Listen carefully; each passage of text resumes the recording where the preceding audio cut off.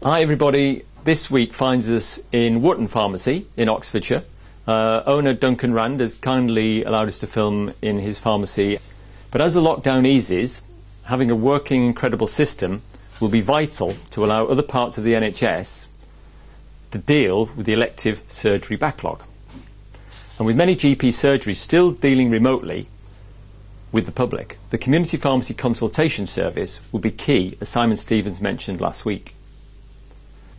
So the NPA is having ongoing discussions with the government about the role pharmacy can play as some of the rules are relaxed, particularly in delivering antibody testing using the clinical skills that many pharmacists have.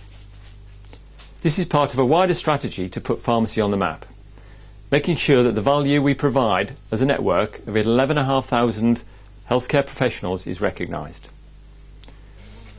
We want to see pharmacy recognised as being at the heart of the NHS, and recent comments from Matt Hancock and Sir Simon Stevens and the significant press coverage we at the NPA have recently had suggest this is starting to happen.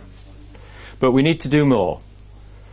So the NPA has commissioned a significant piece of consumer research to demonstrate to the government how much the communities we work in value the face-to-face relationship with their pharmacy and how much more pharmacies could do within the NHS.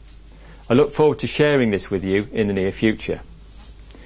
While the sector is gaining greater recognition, we still need a sustainable funding solution for both COVID and the longer term.